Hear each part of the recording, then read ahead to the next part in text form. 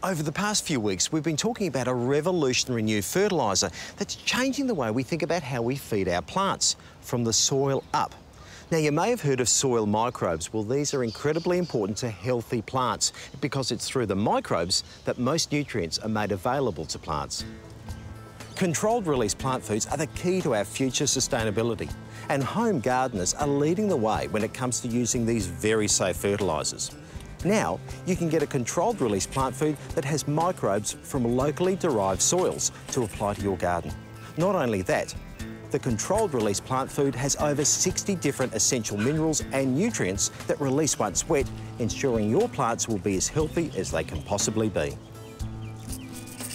Well, veggies are one group of plants that definitely need a sustained boost of nutrients through their short but productive growing lives. And what I like about Troforte is the balance between nutrients and microbes contained in each one of these prills is absolutely perfect.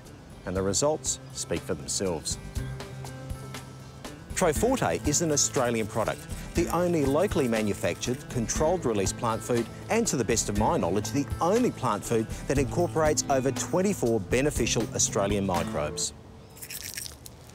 If you want healthy plants, then you need healthy soils, and this is the best way to achieve it in one simple application. Even better if it's a rainy day.